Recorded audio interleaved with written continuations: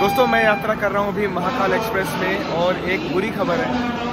पहली चीज़ तो मैं कहना चाहूँगा कि महाकाल एक्सप्रेस जो है, बहुत ही अच्छी सर्विस लगी मुझे अभी तक यात्रा के हिसाब से।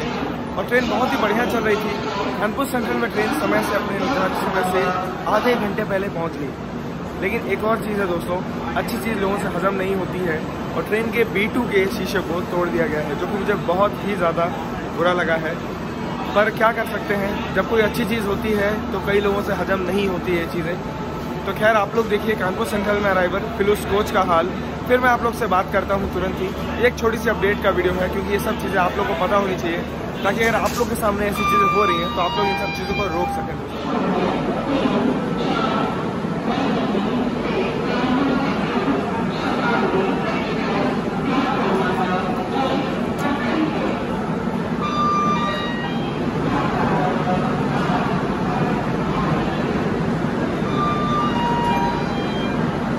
तो दोस्तों, बताइएगा आप लोग का क्या विचार है? ऐसी चीज़ें जब होती हैं तो कैसा लगता है? मुझे तो बहुत बुरा लगा और आहार पहुँचा इस चीज़ से। ऐसा ना हो, मेरा खुद का शहर है कानपुर और ऐसी चीज़ें होती हैं अपने ही शहर में तो और बुरा लगता है। महाकाल एक बहुत ही अच्छी सर्विस है, ऐसा नहीं होना चाहिए।